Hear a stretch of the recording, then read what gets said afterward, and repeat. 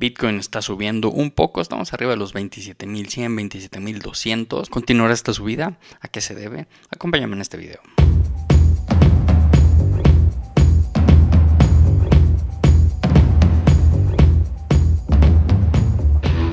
¿Qué tal amigos? ¿Cómo están? Bienvenidos a este nuevo video sobre criptomonedas este domingo 28 de mayo. Estamos muy cerca de terminar el mes. El día de hoy tenemos un video lleno de información donde pasamos a ver una noticia importante, una noticia de por qué eh, probablemente se están moviendo los mercados hacia arriba y también estaremos viendo, por supuesto, mercados tradicionales, cómo cerraron su semana y cómo estamos viendo Bitcoin. Lo vamos a ver desde velas de 4 horas hasta velas semanales. Así que espero que les guste el video del día de hoy. Primero que nada, como siempre, agradeciendo a los más de 100 mil suscriptores. Gracias gracias, a todos ustedes. Pasamos aquí a ver el Crypto Bubbles, donde vemos que otra vez está cayendo Hex, estos dos de Pulse que hemos visto que han estado bajando después del lanzamiento de esta de su cadena. Todo lo demás se ve verde o casi casi todo lo demás se ve verde, con Radic siendo uno de los mayores ganadores con 7.5, Aptos por ahí vemos también ganando o subiendo, Sandbox 7.3. Recuerden que en el último video platicamos sobre Sandbox y algunas de estas otras monedas como Maná, entonces pues vamos a ver si continúan esta subida. Vamos a pasar a ver hoy el top 400 y el top 500. Vemos en el top 400 o XBT con una subida de un 80%, Multi también subiendo bien y Neta, muchos de estos nunca o es la primera vez que los había escuchado. Y nos vamos al top 500 en donde vemos que Bonk está subiendo bastante bien, es el ganador de esta eh, categoría, digamos, en 30% subida, ELA con 17 y Gel con 13.4. Esta es una esta es una forma fácil, una forma sencilla de ver monedas que estén explotando, que estén a lo mejor en tendencia y a las cuales pues te puedes subir si tienes ganas de arriesgarte un poco más. Pues vamos a ver el Crypto Fear and Grid. Ayer estábamos o el viernes estamos en 49, hoy regresamos al 50%. Y vemos aquí que Joe Biden y Kevin McCarthy, el House Speaker, llegan a un acuerdo en principio que muy probablemente se va a subir el techo de la deuda de Estados Unidos. ¿Se acuerdan que platicamos sobre o vimos una gráfica durante la semana pasada sobre cómo se está acabando el dinero en Estados Unidos por la deuda y tienen que subir el techo de la deuda o se vienen momentos complicados para Estados Unidos y parece que ya llegaron a un acuerdo, tiene que pasar la próxima semana a más tardar este acuerdo, o sea que ya se haga oficial. Y lo que están platicando aquí, lo que están diciendo por aquí es que este acuerdo está o va a ser como por 1.2, 1.3 trillones de dólares subir la deuda. Y si se logra ese acuerdo obviamente pues muy seguramente va a haber o vamos a regresar a impresión de dinero. Así que hay que estar atentos de qué es lo que sucede aquí y esto es una de las razones por qué los mercados comenzaron a subir prácticamente en los últimos dos días. Pasamos a ver gráficas semanales, vemos primero que nada el SP500 donde vemos que se ve aquí como bajó la semana pasada y le dio soporte su nube. También si lo vemos en velas diarias, que es como lo habíamos estado viendo, vemos como bajó y le dio soporte aquí la EMA de la nube de este, de este indicador que utilizamos aquí en el canal, del cual si quieres conocer más sobre este indicador, abajo en la descripción, en la sección de socios, Ahí puedes encontrar información sobre este indicador. Puedes irte a ver el desarrollador, que es un alumno de BCD Academy, quien construyó, quien diseñó, elaboró este indicador, que son prácticamente dos indicadores en uno. Entonces,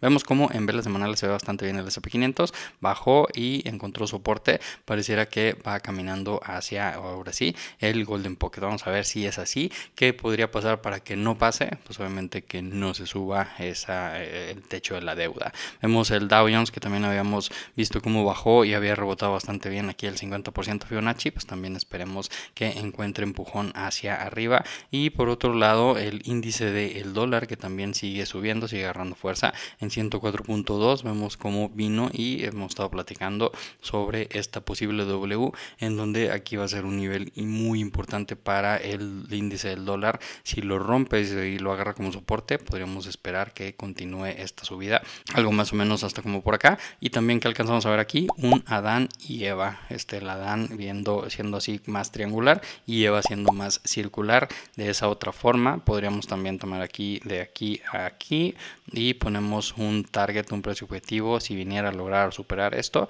al menos que fuera a buscar los 110 puntos. Así que pues agarrando fuerza el índice del dólar vamos a ver cómo continúa. Pasamos a ver Bitcoin. Primero lo vemos en velas de 4 horas en donde acá en el RSI estoy eh, cambiando un poquito la línea y vemos aquí que tenemos este toque, este toque y este toque. Entonces vemos todavía cómo le está le dio soporte después de esta bajada, le dio soporte esta línea de tendencia alcista y por acá está muy recto este prácticamente. Entonces también se podría considerar esto como divergencia alcista.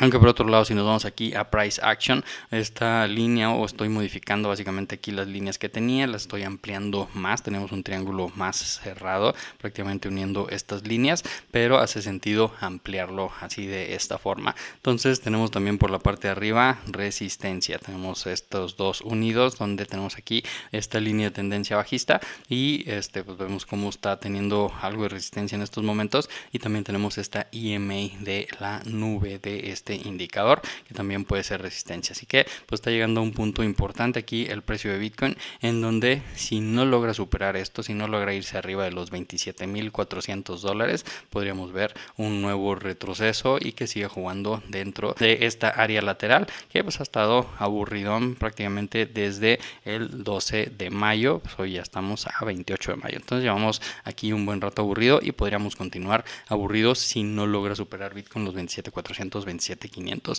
Velas diarias, podemos también el mismo triángulo prácticamente que tenemos ahí dibujado, que este lo había dibujado en esta gráfica desde antes y pues ahorita lo estamos replicando ya en velas de 4 horas, vemos que está llegando también a la parte alta y el nivel CPR mensual que vamos a ver si logra cerrar vela por encima de los 27.171 y no solo eso, sino que cerrara una segunda vela el día de mañana, eso también sería algo bastante positivo y bueno, pensando que se puede ir hacia arriba. Pasamos ahora a ver velas semanales en donde seguimos aquí observando la fuerza que de momento sigue mostrando la media móvil de 200 semanas, ya con una semana que vino lo atravesó momentáneamente y eh, encontró soporte, en la siguiente semana no lo tocó y en esta tercera semana nuevamente bajó, encontró soporte y está teniendo un empujón hacia arriba, entonces pues eso se ve bien, es una buena señal para la salud del mercado. Y por otro lado vemos esta gráfica en donde primero en la parte de acá arriba tenemos aquí el indicador este el guppy en donde también vemos como ya cambió de rojo a gris. Todavía no ha cambiado de gris a verde como por ejemplo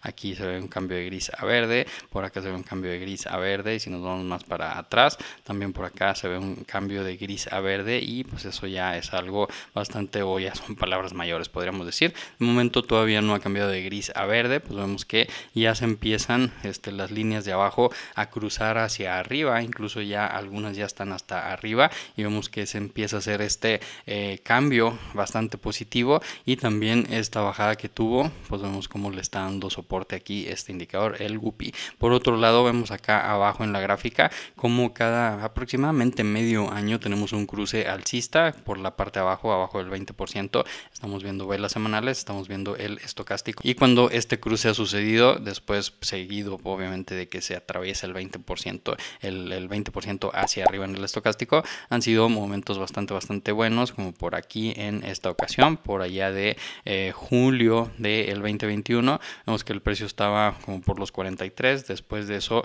lo llevó hasta los 69 mil dólares luego por acá en enero del 2022 el precio estaba como por los 35 y tuvo una subida vamos a decir hasta los 47 mil dólares. Después este otros medio año después por allá de junio del 2022 el precio estaba por los 19 mil 500 tuvo una subida hasta los 25 mil dólares más recientemente. En diciembre del 2025 2022 perdón el precio estaba por los 15 mil 16 mil dólares y tuvo su subida hasta los 30 mil dólares. Ahorita vemos cómo pues se está perfilando para tener un nuevo cruce en las próximas 2 3 tal vez 4 semanas. Y veríamos obviamente eso que le haría al precio si tuviéramos aquí un empujón para hacer un alto más alto tal vez hacia los 32 mil dólares tal vez algo no tan tan tan fuerte a la parte alta de este rectángulo o bien a lo mejor incluso podría irse hasta los 44 mil dólares. Vamos a ver qué sucede si sucede así y si sigue repitiendo este patrón de cada medio año tener ese cruce